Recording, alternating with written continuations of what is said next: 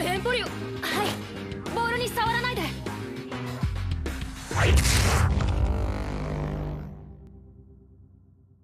え？っ人に見られたらまずい。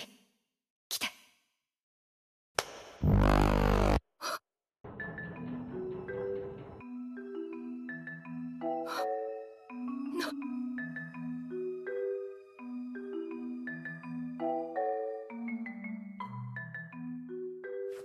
エンポリオ。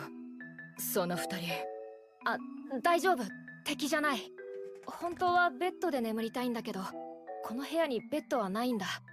仕方なく彼はいつもピアノの中で寝てる。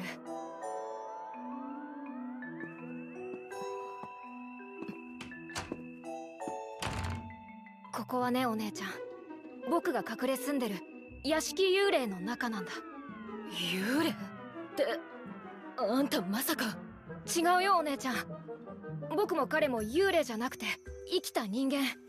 触ってみてよ。体温も脈もある。よく聞いて。ここは幽霊が住んでる屋敷じゃなくて屋敷が幽霊なんだ。物のの幽霊って言えばわかる。この刑務所は1984年に火事が起きて大改築されたんだけどこの部屋はその焼け落ちた場所なんだ。こは過去のものの中音楽室の幽霊なんだよ。